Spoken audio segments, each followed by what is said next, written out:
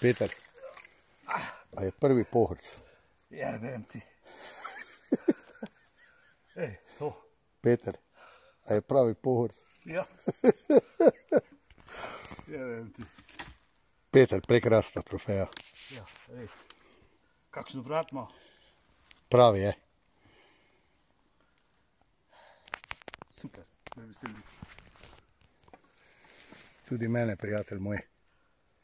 Jeli, ne, ne nucaš tvoje šance, ne boš dobil nič.